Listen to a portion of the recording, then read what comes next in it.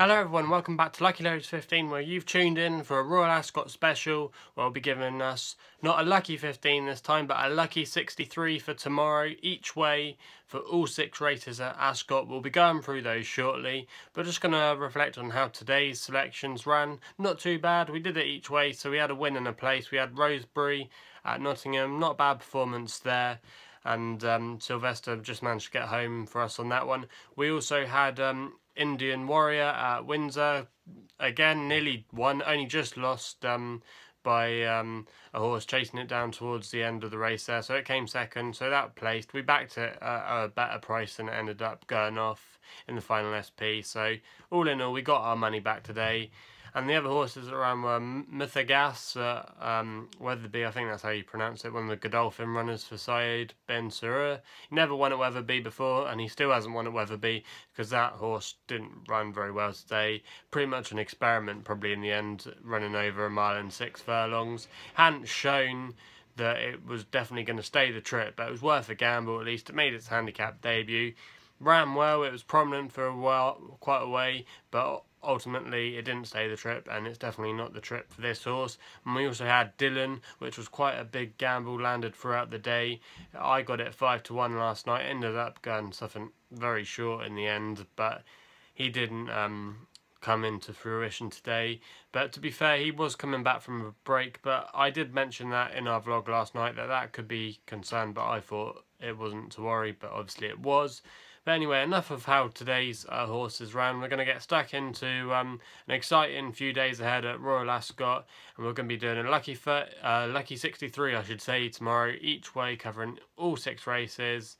And we're going to get stuck in tomorrow with the first race on the card in the 230 in the Queen Anne Stakes, which on paper currently looks like it's one-way traffic with Ribchester, but I think he could be a little bit vulnerable at that kind of price. I think he's around about 4 to 5 at the moment. I have noticed it. He has been drifting slightly. I think you can get him at evens if you really fancy him tomorrow. So um, take that price now probably because he'll probably end up going off a bit shorter than that tomorrow. But the horse that I've selected here and is also quite a tipped horse to uh, maybe upset the form tomorrow is a horse called Mutakayyef, which is a Godolphin runner one of the other Godolphin horses in the race because Ribchester is Godolphin as well. It's owned by William Haggas and uh, will be ridden by um, Jim Crowley, the champion jockey, who's probably going to have to put in a lot of work to retain his champion um, crown this year. But I thought this horse was very interesting at um, a price. Around about 7 to 1, I got it out earlier, but it's been nibbled out already to 6 to 1, so it'd be interesting to see if there's any more market support for it. It ran really well um, last year, had a really good campaign. It's a course and distance when uh, Ascot over a mile. It has been experimented over a mile and two, over seven furlongs, and also I think possibly a mile and four, but it seems like the mile is definitely its go-to trip, the one that it likes the best and consistently wins at. And again, I think tomorrow, this race being run over a mile in the Queen Anne's, seven to one at the moment, and with the each way element, I definitely think he's going to put in a really good big bold run here, and he could give Ribchester a really hard time, who um, has got one or two questions to answer with the ground being this firm. So yeah, that's definitely um, a horse to keep an eye on tomorrow. Our uh, second selection tomorrow sees us go to the Coventry in the 305, and again we've actually selected a William Haggas horse here, and it's a bit of an outsider this one at 28 to 1 um, you might think what the hell am I doing here? But the horse I've gone for is Headway which is going to be ridden by Pat Cosgrave who's pretty good jockey. Now this horse is actually quite interesting. It's uh, running over six furlongs in this race and there are a few good horses running in this race tomorrow. Uh, one that's been backed quite a lot is De horse uh, by Richard Hannon now, that horse we have backed on the channel and it did win at Epsom that day, was our only winner that day, I think it was on Derby Day, so um, that wasn't a bad selection there, but we're going to be going against it tomorrow. There's also a few other good horses on paper here that you definitely think will run very well tomorrow. But the reason I thought this horse was quite interesting was because it won at Chester uh, last time out in a really pretty good race and it had a very wide draw and it came round the outside and it stayed on really well and it came from behind the pace and showed a good turn of foot to come home and win very comfortably in the end and looked like it definitely was running well over six furlongs, and that was definitely the distance for it. Same again in its previous race at, um, at Newbury, where it finished um, second.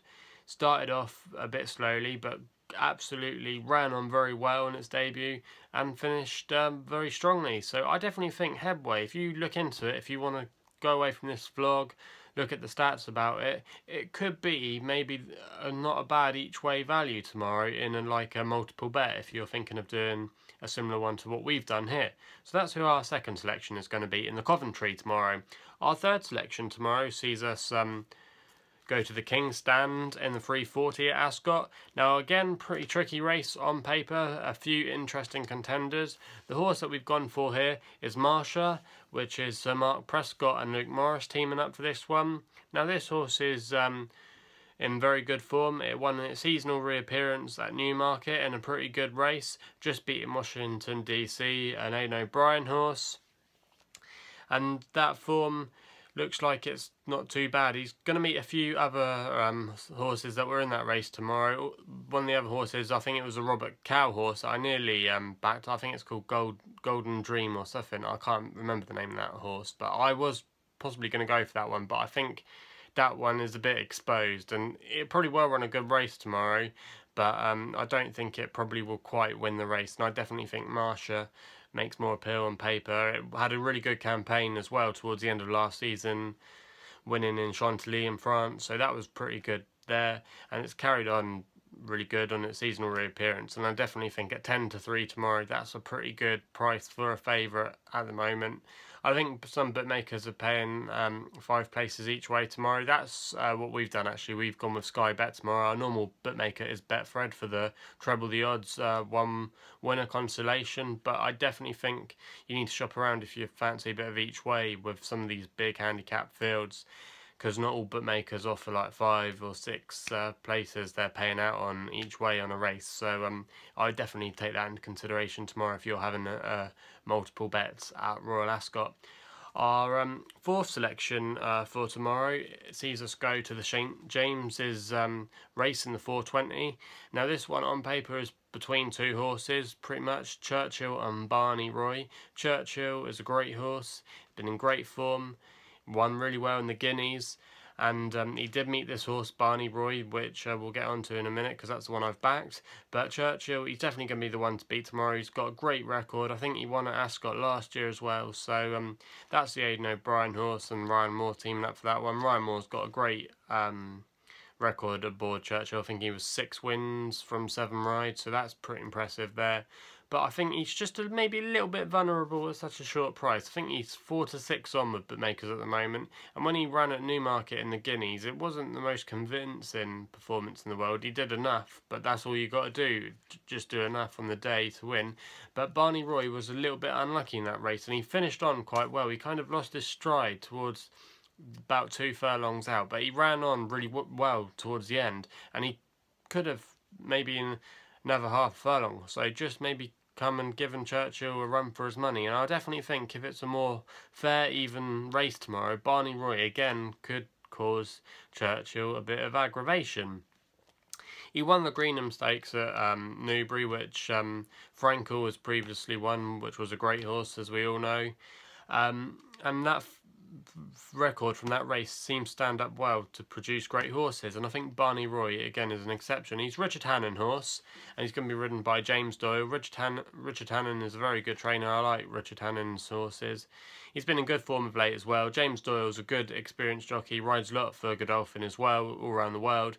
So I definitely think that is not a bad uh, shout tomorrow. Not 9 to 4 at the moment if you fancy Barney Roy. Hopefully he might drift out because Sky Bet do offer the little bit better SP. But I definitely think Barney Roy, if it's a more fairer race and he runs a good race, he could pip uh, Churchill and throw in a little bit of surprise there. But let's know what you think about on that race. Churchill, you would say, is probably most people's bankers uh, for tomorrow. But um, yeah, let us know what you think on that one. Our um, fifth uh, selection tomorrow is in the five o'clock at Ascot with um, Again, pretty wide open race on paper. It's the Ascot Stakes over two miles and four furlongs. A lot of um, actual um, hurdlers on um, in this race. I know Nicky Henderson's got one, an ex um, flat horse returning to the flat for quite a few years, but that is of Galileo. Obviously, you might be attracted to the pedigree there. Beyond Conceit's been very good on the hurdles for Nicky Henderson over the last few months. He's going to be ridden by Jamie Spencer tomorrow, and I was tempted to go down with that horse. But um, the other horse that really caught my eye, uh, maybe slightly of a bigger price, is um, a horse called Rainbow Dreamer. Now, I've always liked this horse, even over jumps.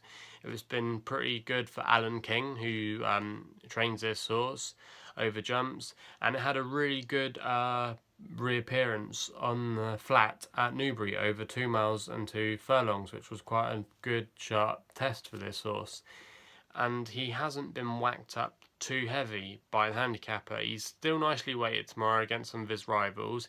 He'd probably well like the up in trip and he's definitely got that class pedigree when it comes to um, just racing on a flat. So I definitely think at a price tomorrow, around about 14 to 1, 16 to 1, you can get him, I've seen with some bookmakers. He could be in with a chance tomorrow. He's got Andrea Atzeni on board, who's not a bad jockey. And again, he could be a good, uh, good bet tomorrow each way if you fancy him, like I do. Our last selection tomorrow sees us go to the last race of Royal Ascot. Hopefully we'll be 5 out of 5 from this point with winners, but I doubt it. But it's the Windsor Castle Stakes tomorrow in the last race. And the horse that we've gone for here is, again, another outsider. A horse called Marching On Together. Round about 25 to 1 with bookmakers at the moment. It, I can't remember if it's called... Um, it's like something like Love and Declaration or, or something or other, the horse that's the current favourite at the moment. It's uh, Aidan O'Brien horse, I definitely know that. But I can't remember its name off the top of my head right now. I think it's Declaration of Love is what it, I think it's called. Anyway, that horse tomorrow is 3 to 1. Now it's got some smart connections, won well um, on its only win at Dundalk over quite a few lengths. So that was a very good performance there but he hasn't raced for a while. He's um, not won on turf yet out of his two runs, but he obviously has got classy connections. But I thought this horse, Marching On Together, could be quite interesting for the following reasons. It's Ivan Furtado and Martin Harley, which is not a bad jockey and um, trainer combination. But this horse uh, ran at Leicester in a fillies maiden which has produced some subsequent winners, quite a few winners from that race, and it won quite nicely over the trip and the ground. So that's already one for this horse in the bag. I definitely think this horse has got some good room for improvement with the form especially and quite a big price. I thought he could just be an each way gamble worth taking. So yeah, he could not do too badly tomorrow this horse marching on together and hopefully he'll be marching on together tomorrow for some good profit for us. But as I've made all six predictions, what I think will run well at Ascot tomorrow, probably none of them will turn up, and it will probably be your same old favourites like Ribchester and Churchill turning up, winning, and probably a few surprises along the way that nobody saw, a few 33 to 1s here and there, and everybody be like, well, why did you back those horses? But I've given you my reasons why I think those horses will run well tomorrow. We're going to be doing a lucky 63 each way over the next uh, few days, which will be at Royal Ascot, covering the majority of the races there. So um, keep an eye out for our daily vlogs.